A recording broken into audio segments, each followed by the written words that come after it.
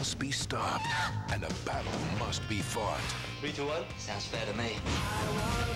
Jackie Chan. Run! For your lives. The Medallion. Rated PG-13. Opens Friday.